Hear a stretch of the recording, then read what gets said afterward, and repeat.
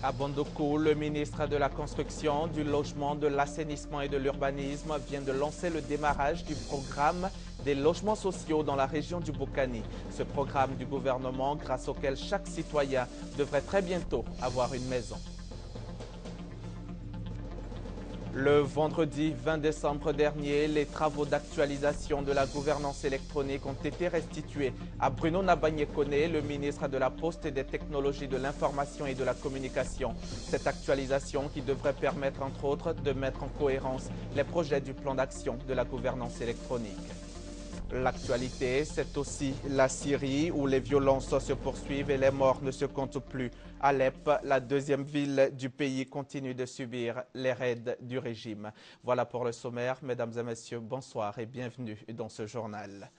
Rendons-nous tout de suite à Bondoko. Je vous l'annonçais dans le titre, le ministre de la Construction, du Logement, de l'Assainissement et de l'Urbanisme a donné le top départ du programme des logements sociaux dans la région du Bokani. Ce programme du gouvernement ivoirien qui, vous le savez, vise à combler le déficit de logement et à permettre à chaque citoyen d'avoir une maison. Alexis Ouedraogo depuis Bondoko. Offrir à chaque Ivoirien la possibilité d'avoir un toit. C'est l'essence du vaste programme de logements sociaux lancé par le gouvernement ivoirien. Il concerne les foyers ou individus de faibles et moyens revenus. L'opération lancée à Abidjan et dans plusieurs villes du pays s'étend maintenant au nord-est de la Côte d'Ivoire, à la région du Boukani. Les localités de Bouna, de Bondoukou et d'Abangourou ont vu cette fin de semaine les maisons témoins de l'opération. Tous les cadres, tous les fils, toutes les filles de Bouna qui sont à Abidjan, qui sont dans la diaspora en Europe, etc., qui auront besoin de préparer leur retraite au village.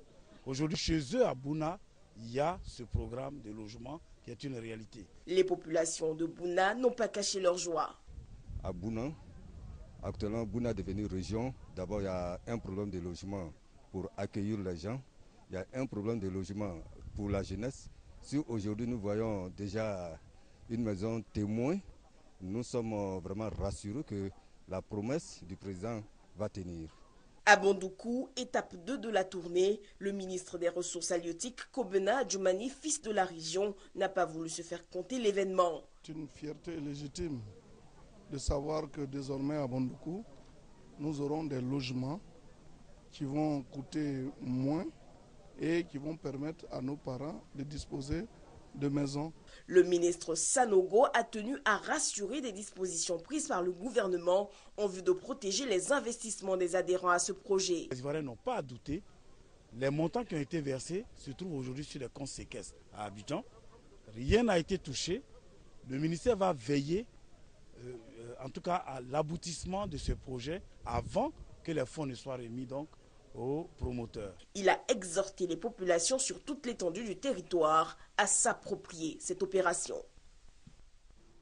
Dans le cadre de la politique d'assainissement de la ville d'Abidjan, le président de la République, Alassane Ouattara, a lancé le démarrage de plusieurs chantiers. Des chantiers qui ont été visités ce lundi par le ministre de la Construction, de l'Assainissement, du Logement et de l'Urbanisme, d'une délégation du RDR et de quelques membres de la société civile. On retrouve Mamadou Kwasi.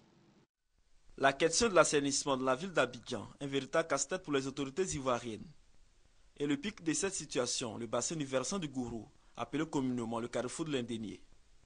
Après de nombreuses tentatives, la solution semble être trouvée désormais pour mettre fin définitivement aux inondations enregistrées à cet endroit pendant la saison pluvieuse. Quatre barrages écréteurs de crues, vieux de plusieurs décennies, sont en cours de réhabilitation. À cela s'ajoutent des travaux de drainage et de construction de nouveaux barrages. Ce barrage, lorsqu'il fonctionne normalement, en période de pluie, il laisse passer un petit débit par le pertu de fond et l'eau se stocke à l'intérieur de la cuvette. Et c'est seulement à la fin de la pluie que le barrage se vide progressivement. S'il n'y avait pas ce barrage, toute la quantité d'eau qui arrive serait déversée directement au, euh, carrefour de l'Indénier. Le coût total de ces projets, 17 milliards de francs CFA, financés à la fois par la BAD et le gouvernement ivoirien. Ce sont ces différents chantiers qui ont attiré l'attention de la direction du Rassemblement des Républicains, RDR, accompagné de la société civile, des femmes de marché et de la chefferie traditionnelle. D'Adjamé Agban, au rond-point de la gendarmerie d'Abobo, en passant par le plateau d'Okui, ils ont pu apprécier les travaux menés par le gouvernement. Ce que nous avons vu aujourd'hui, c'est ce que les Abidjanais ne voient pas, ce que les Ivoiriens ne voient pas. Mais c'est de là où le chef de l'État a vu. Et les effets de ce qu'on ne voit pas, nous le ressentons tous les jours. Et c'est ce qui est en train d'être traité. Le ministre en charge de l'assainissement a rassuré ses invités la volonté du gouvernement de finir les travaux dans le temps. Il faut faire des travaux sérieux en amont qui vont permettre un jour aux Ivoiriens d'être tranquilles sur ce site. L'assainissement coûte très cher et que effectivement tous les décideurs politiques n'aiment pas investir là-dessus parce qu'en général on ne voit pas. Il n'y a pas de dividendes politiques immédiates. Dans 24 mois, le bassin de Gourou ou le carrefour de l'Indénier aura un autre visage, plus beau et plus séduisant sûrement.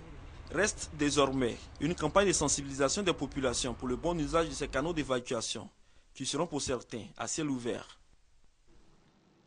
Le ministère de l'Environnement et du Développement durable vient d'initier la quinzaine de l'environnement. Le bilan, selon le ministre Alakwa Dioremi, est satisfaisant. Les écoliers et élèves des lycées et collèges ont été pendant deux semaines sensibilisés à entretenir leur cadre de vie et à protéger l'environnement. Serge Collier.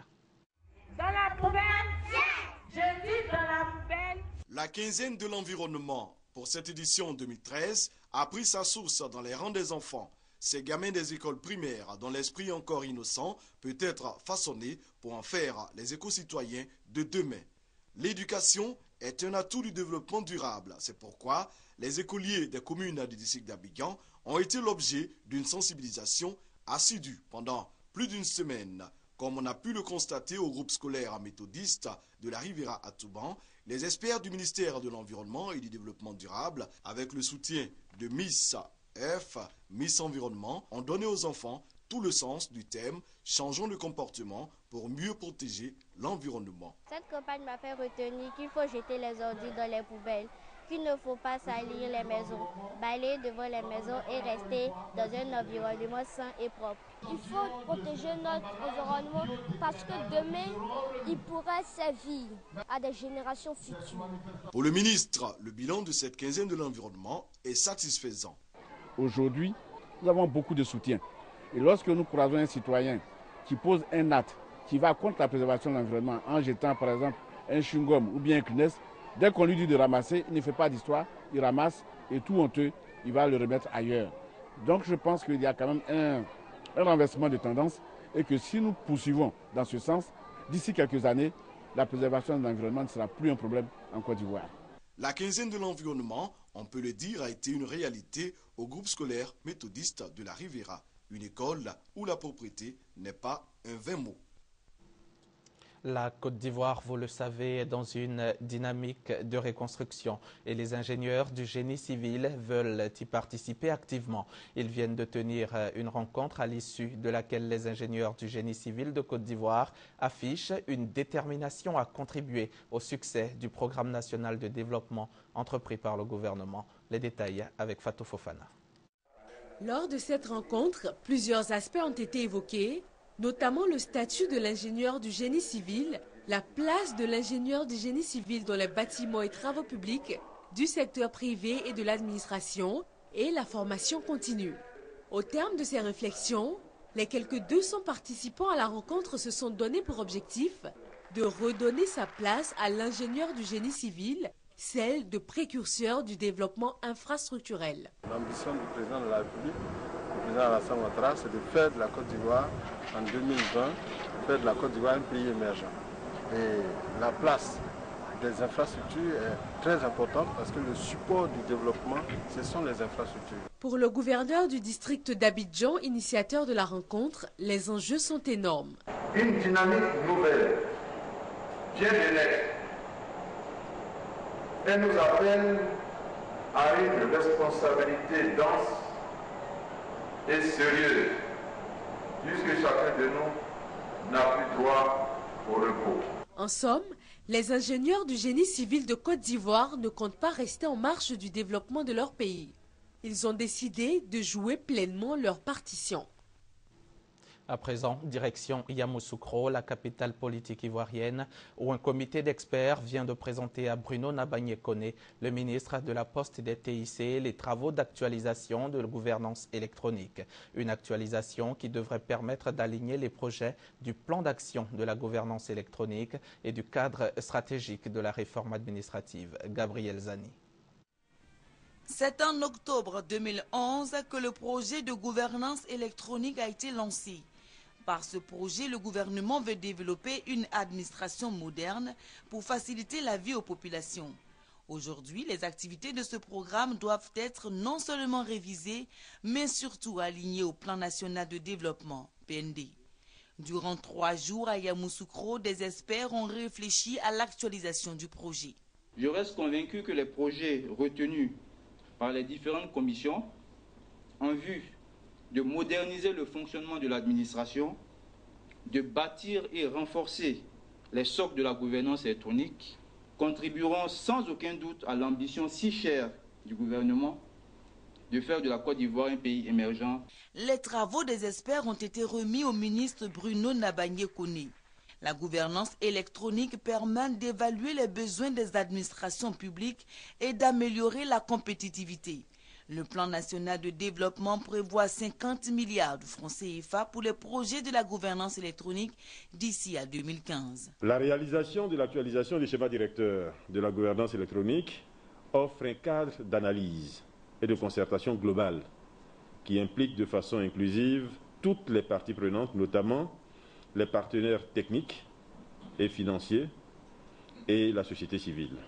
À l'issue des travaux, les experts recommandent la mise en place de l'Observatoire des TIC et le guichet unique de l'administration, ce qui permettra aux citoyens de s'adresser une seule fois à l'administration publique. La Fondation Atout est une organisation non gouvernementale. Elle vient d'organiser une cérémonie pour distinguer des membres de la société civile œuvrant pour la paix et la réconciliation. Reportage.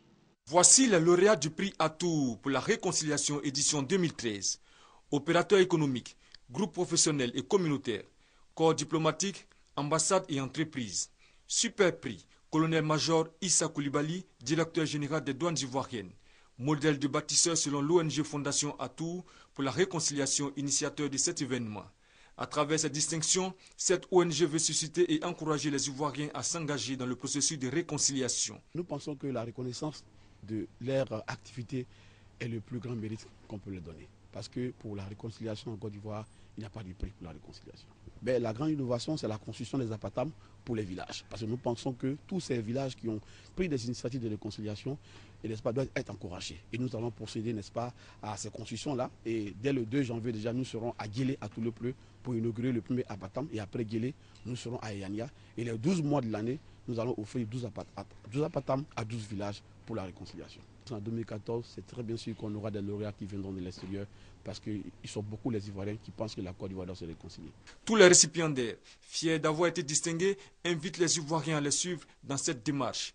Le thème de cette deuxième édition, réconciliation, justice et croissance économique, a été développé par l'inspecteur général d'État Nyamion Un triptyque pour rappeler que la réconciliation est au cœur de l'action politique. Le vocable atout est la symbolique des enfants de Côte d'Ivoire regroupés et unis pour faire avancer leur pays. Et le prix à tout, selon l'initiateur, devrait inspirer et servir d'exemple à tous les Ivoiriens. Un reportage de Sidonie Davila commenté par Abou Sanogo. Le Chologo et la Maraoué signent une convention de jumelage. Les deux régions ont décidé de s'unir pour la paix et le développement et surtout le rapprochement des populations. Cette signature de convention a eu lieu en présence de Charles Kofi Dibi, le ministre d'État, ministre des Affaires étrangères. Le président du conseil régional du Tchologo, Lassina Kone Cardozi, et son homologue Abikofi Richemont de la Marawi signent une convention qui consacre le jumelage des deux régions. Et cela sous les regards du ministre d'État, ministre des Affaires étrangères Charles Kofi Dibi et le ministre des Affaires présidentielles Ibrahima Ouattara. Un contrat qui lie désormais leurs régions respectives. Nous prenons l'engagement d'honorer le pacte d'amitié, de fraternité et de loyauté qui nous lie désormais. Nous proposons la mise sur pied d'un cadre permanent de concertation entre les élus du Tchologo et ceux de la Marawi pour accorder nos vues sur des questions d'intérêt régional, voire national. Il est important que nous puissions faire en sorte que la coopération ne soit pas seulement une coopération nord-sud, mais que sud, à l'intérieur donc du sud, nous puissions entre communes, entre régions, pouvoir donc mettre les choses ensemble. Vous avez certainement des richesses ici que nous pourrions donc exploiter. Comme nous aussi, nous avons certainement des richesses que vous pourriez donc exploiter de votre côté. La signature de la convention qui marque le jumelage des deux régions a traîné du monde à l'espace Tien de Boisflé où danse, masques des deux régions et artistes ont égayé le public. Les élus et cadres du Tchologo et de la Maraoué saluent cette union, la première du genre entre deux régions de la Côte d'Ivoire. Deux régions, pour la première fois en Côte d'Ivoire, décident d'aller vers le jumelage pour pouvoir mettre leurs forces ensemble et aller vers le développement. C'est une façon de construire euh, ce que nous appelons l'émergence à l'orée de l'année 2020. C'est une grande première, en espérant que cet exemple va inspirer d'autres régions afin que le brassage de tous les habitants de toutes les régions de Côte d'Ivoire puisse être une réalité. Étant d'origine du Tchoulogo, mais le côté maternel se trouve dans la Marawi. Aujourd'hui, la satisfaction est tellement grande pour moi que je suis l'un des plus grands bénéficiaires de ce jumelage. Initié le 25 août dernier, lors d'une visite d'amitié du ministre d'État Charles Kofi Dibi à Kong, cette alliance vient d'être formalisée à Boisfli. Une visite du chantier du lycée d'excellence Alassane Ouattara et une finale de football dotée du trophée du ministre des Affaires présidentielles ont constitué les autres temps forts de cette rencontre. Le ministre des Ressources animales et halieutiques porte à la connaissance de la population, des éleveurs, des grossistes, des revendeurs des marchés communaux, des vendeurs ambulants et des vendeurs occasionnels de volailles vivantes que conformément au décret numéro 93-312 du 11 mars 1993 fixant les conditions d'exercice des professions touchant au commerce des animaux, des denrées animales et d'origine animale destinées à la consommation humaine. La vente de volailles vivantes est une activité soumise à une déclaration obligatoire et ne doit s'exercer uniquement sur un marché conventionnel. Par conséquent, la vente de volailles vivantes aux abords de grandes voies, des carrefours ou autres sites en dehors des marchés est interdite. À cet effet, les services compétents en la matière procéderont à la saisie systématique de toute volaille vendue en dehors des marchés. La fête de Noël, c'est pour très bientôt, mais les enfants de la commune d'Odiéné, dans le nord-ouest de la Côte d'Ivoire, eux, ont déjà reçu la visite du Père Noël, qui leur a offert de nombreux cadeaux. Une initiative de Madame le maire de la commune, Herman Niamien.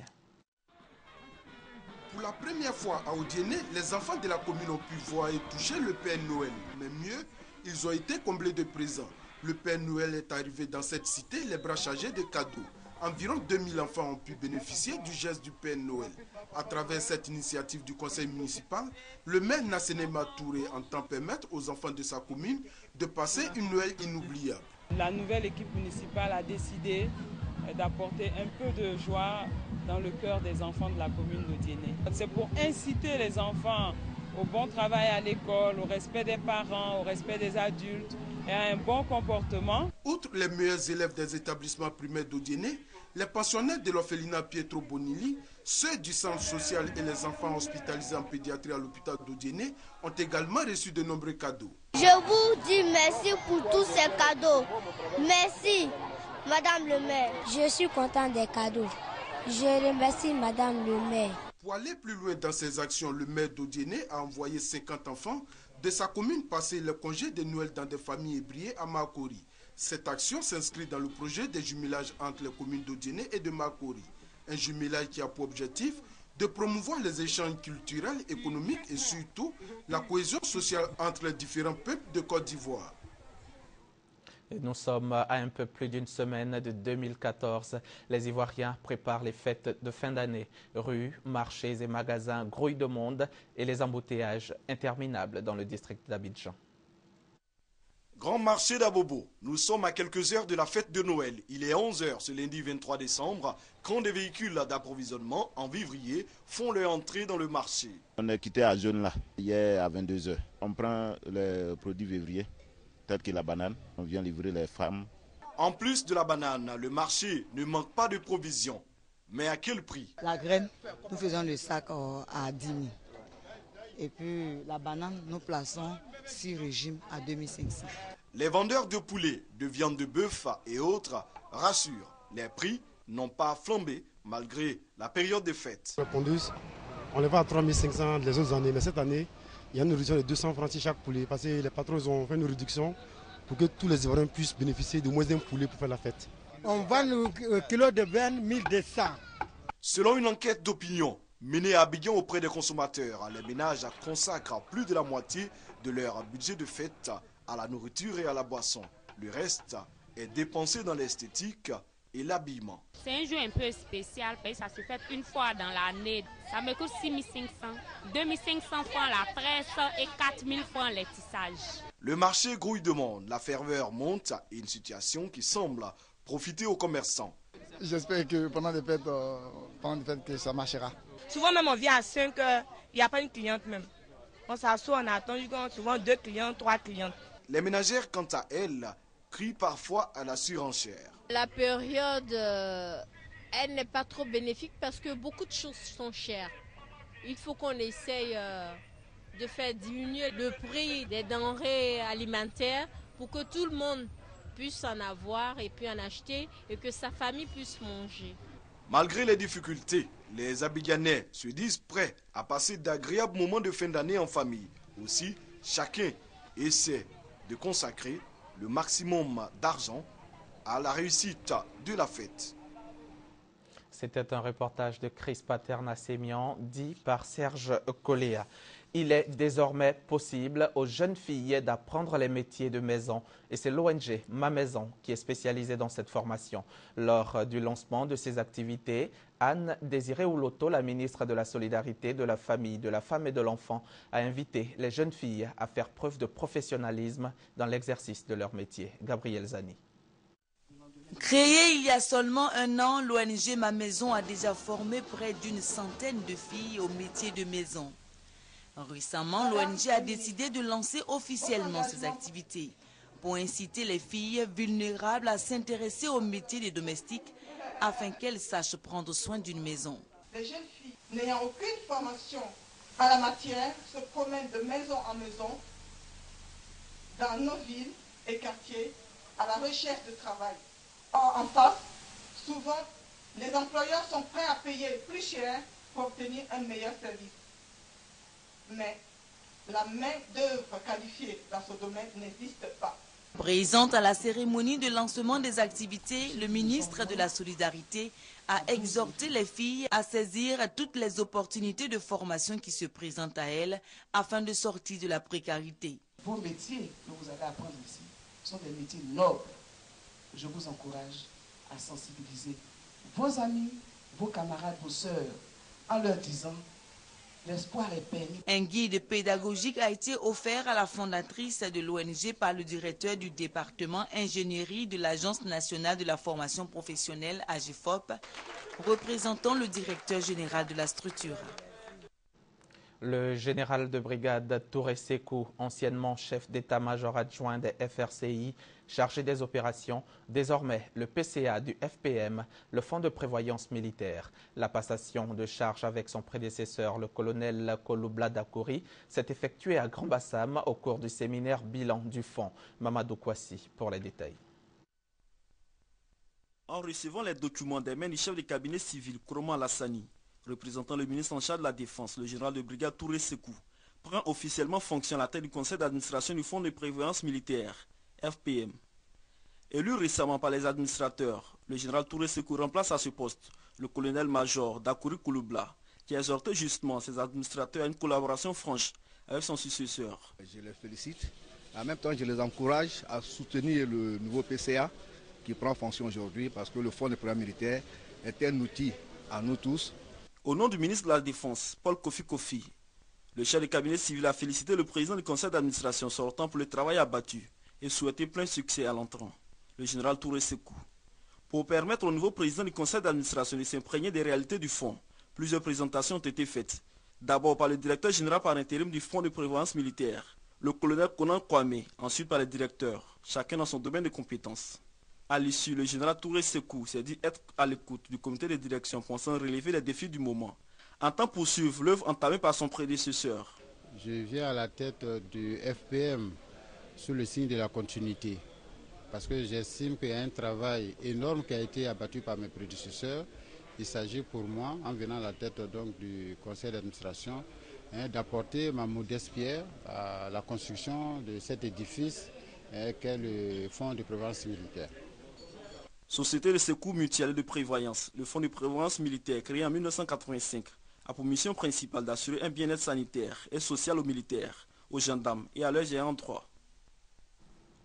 Et maintenant, en bref et en image, la Côte d'Ivoire a un nouvel ambassadeur en Guinée équatoriale. Son Excellence, Mme Fatoumata Touré, a présenté récemment ses lettres de créance au président équato-guinéen Teodoro Obiang Nguema. Mme Fatoumata Touré est le tout premier ambassadeur ivoirien dans le pays. La Côte d'Ivoire et la Guinée équatoriale entretiennent des relations de coopération dans divers domaines, notamment le pétrole, les mines et l'industrie. Pour terminer ce journal, je vous propose de faire un tour dans le monde. Première destination, la Syrie. Des raids aériens ont fait au moins 44 morts, dont 6 enfants à Alep, dans le nord de la Syrie. Des barils d'explosifs ont été largués sur une autoroute près d'un marché et sur des quartiers très habités. L'opposition syrienne dénonce un massacre, évoquant une campagne de bombardement menée contre la ville, ayant fait 300 morts depuis 8 jours. En retour, les autorités syriennes imputent aux rebelles un attentat à la voiture piégée contre une école dans la province de Homs, ayant tué six élèves. En Turquie, des milliers de Kurdes ont manifesté à la frontière syrienne pour montrer leur solidarité avec les Kurdes de Syrie. Les manifestations ont débuté pacifiquement, mais des affrontements ont éclaté lorsque des manifestants ont commencé à marcher vers la frontière. Les forces de sécurité ont dispersé la foule à l'aide de canons à eau et des grenades lacrymogènes. Les autorités turques redoutent que les indépendantistes kurdes ne se servent de la crise syrienne pour renforcer leurs revendications. Une invasion de criquets pèlerins au Yémen. Voilà plusieurs semaines que des essaims dévorent les récoltes. Une situation alarmante car les villages concernés dépendent essentiellement de l'agriculture pour vivre. Les fortes précipitations cette année ont facilité la propagation de ces insectes extrêmement voraces, ce qui fait redouter une pénurie alimentaire dans le pays où plus d'une personne sur quatre a de grandes difficultés pour se nourrir. Des statues colossales dans le plus pur style nord-coréen. Le régime de Pyongyang a inauguré deux statues de ses dirigeants Kim Jong-il et Kim Il-sung. Une mise en scène considérée par les observateurs comme une volonté de renforcer la direction de la dynastie Kim sur le pays. Deux semaines auparavant, le numéro 2 du régime et oncle de l'actuel leader Kim Jong-un avait été exécuté pour trahison. C'est la fin de ce journal. Merci de rester sur RTI.